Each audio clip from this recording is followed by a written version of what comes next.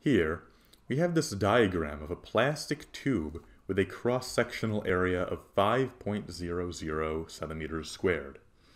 The short arm of the tube on the right here is sealed and has a length of 0.800 meters. We are gradually filling the tube from the long arm on the left-hand side with water. And lastly, we are told that the seal on the short arm will pop off if the force on it exceeds 9.80 newtons. Therefore, what total height of water in the long arm will make the seal pop? To make this situation more clear and easier to work with, let's define some additional variables other than the ones the problem gives us. The value we're looking for is the total height of the water in the left arm of the tube, so let's call that uh, h sub total, or tote. We are already given the height d of the right arm of the tube, so let's call the missing height here, between the top of the right arm and the top of the left arm, vertically, uh, h. We can now see that the total height that we're looking for is going to be equal to d plus h. I also want to perform a quick conversion on the cross-sectional area of the tube, since it's given to us in squared centimeters, but we'll want that in squared meters, since we're working with newtons for the force, which is an SI unit.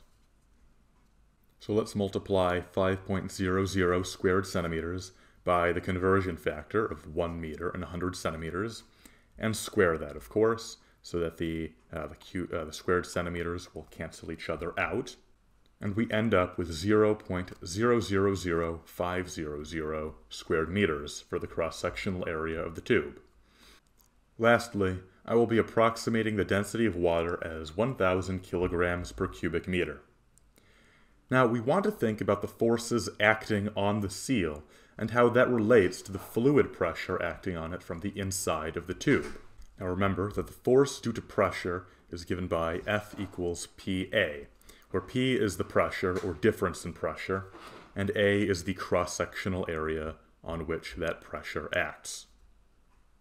Now, it's important to remember, conceptually, that when we have an internal force due to a fluid's pressure that is acting outward on the seal like this, that can only happen when there is a difference between the outside atmospheric pressure and the absolute pressure of the fluid, due to the way that gravity is acting on the fluid because of its height.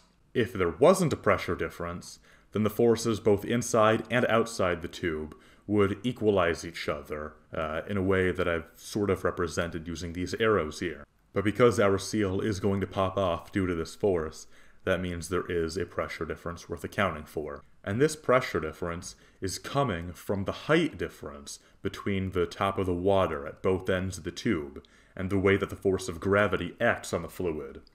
We want to represent that pressure difference. In other words, we are looking for the gauge pressure here. And of course, to find the gauge pressure, we can use this formula we have here that was given by the textbook, where the absolute pressure due to uh, the force of gravity acting on a height difference is going to be equal to the outside pressure, or in this case, the atmospheric pressure, plus the product of the density of the fluid, the acceleration due to gravity, and the height difference of the fluids. So just the difference between the two pressures can be represented by simply that rightmost term here, or rho times g times h. So let's use that to expand our force formula here. So now our force formula is rho g h a, or it's the density of the fluid times the acceleration due to gravity times the height difference, or h, which is part of what we're looking for, times the cross-sectional area of one side of the seal, specifically the side that the water is acting on. Once again, since d is already given to us, and all we need is h if we want to find the total height, that means that the h variable here is exactly what we want to find for the missing portion of the height of the left arm. Let's algebraically set this formula equal to h by dividing both sides by everything but h. And we now have that the height difference of the water in the tubes is equal to the force due to pressure from the fluid divided by the density of the fluid times the acceleration due to gravity times the cross-sectional area of the seal. Let's now substitute in our values. So of course it's 9.80 newtons for the force. Uh, I already defined 1,000 kilograms per cubic meter for the density of the water.